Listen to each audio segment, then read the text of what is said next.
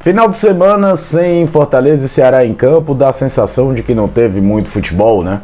Então, mesmo com os jogos da semi, das quartas de final do Campeonato Cearense rolando, Ferroviário e Floresta saindo na frente dos seus confrontos contra é, Iguatu e Maracanã, mas o fato é que talvez ainda a notícia do final de semana seja os desdobramentos bem, bem, bem pouco significativos ainda do atentado que o Fortaleza sofreu no meio de semana após o empate contra o esporte pela Copa do Nordeste. Muito obrigado pela sua presença por aqui no canal do Caio Costa. A gente já tem mais de 11.300 inscritos. Vamos lá rumo à marca de 12, 13 mil, crescendo cada vez mais. Então, meu muito obrigado a cada um de vocês que já está por aqui. E se você não estava, caiu de paraquedas, por favor, se inscreva.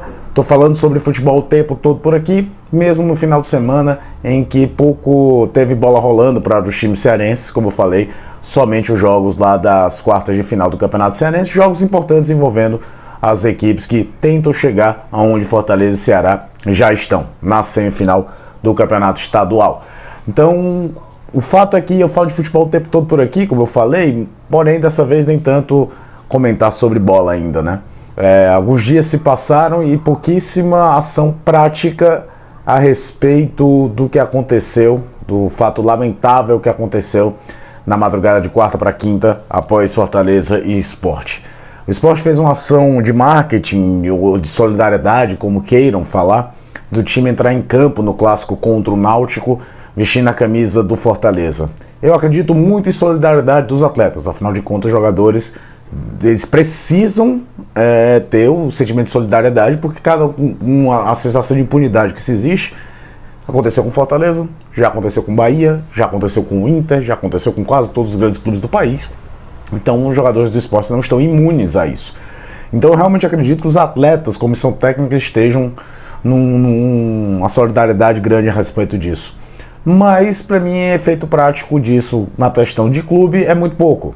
É claro que o esporte não é polícia. O esporte não é, não tem papel punitivo né, de, de, nessa questão.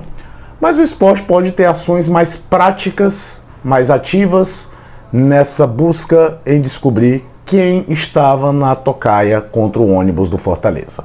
Não é usar uma camisa do Fortaleza, não é colocar nosso maior rival é o crime na camisa. Não é isso. Não é isso que resolve. São é, é medidas simplesmente para inglês ver. O esporte certamente deve ter algum cadastro de jogadores. Eu sei que a atual torcida organizada do esporte ela foi refundada, talvez o cadastro não seja outro, mas existem cadastros antigos, as pessoas são as mesmas. Você tem como tentar identificar, identificar gente da organizada que é sócio do clube, cruzar informações, enfim, participar ativamente do processo de investigação, o esporte pode fazer, além de, é, é óbvio, pelo menos um rompimento institucional com a principal organizada do clube, nesse ponto, é, protagonista desse evento grotesco que aconteceu em Recife.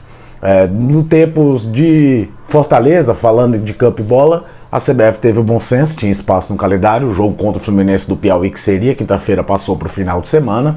Fortaleza, como eu até falei, está esperando saber qual será o seu adversário na semifinal do Campeonato Cearense. Então, está esperando ver quem sai dali para enfrentar. Então, tinha essa vaga no calendário. Mas o fato é que ninguém sabe que Fortaleza vai ser esse. Se alguns jogadores fisicamente vão demorar muito para estarem nas melhores condições, existe também o um componente da saúde mental. A gente não sabe como esses caras vão estar. Outra coisa que eu lamento aí, num contexto mais geral, é que me passa a sensação que o jogador de futebol não tem noção da sua força como entidade de classe. É, se viu muito pouco jogadores no país inteiro se manifestando querendo rompimento disso. E, de novo, Aconteceu no ônibus do Fortaleza, já aconteceu há dois anos no ônibus do Bahia, que o goleiro Danilo Fernandes, por muito pouco, escapou de algo que certamente prejudicaria o restante de toda a sua carreira, ou até mesmo acabasse a sua carreira, como agora aconteceu com o Escobar. É, Fica-se a pergunta de.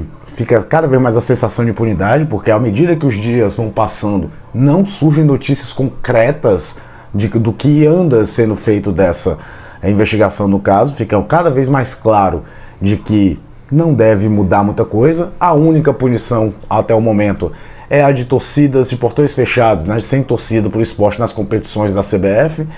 Me soa muito o STJD só querendo dar uma satisfação, porque é, as medidas precisam ser também na área criminal. Então, por mais que o STJD não tem muita coisa, parece que é muito mais uma ação para dar uma resposta à opinião pública, porque esse tipo de ação já foi feita diversas vezes e não resolveu o problema.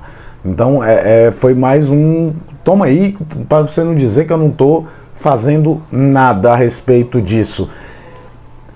É o futebol brasileiro caminhando assim, depois continua-se essa normalização de invasão de centro de treinamentos que acontece do norte ao sul, que acontece em todo lugar, vai outros atentados. Enfim, é, chegamos ao domingo e até o momento as ações são bem pequenas a respeito disso.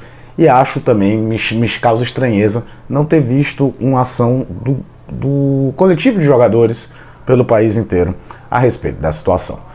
De novo, agradecer a todo mundo que está inscrito aqui no canal. Se você não está inscrito, se inscreva. Fazer aquele pedido de amigo, né?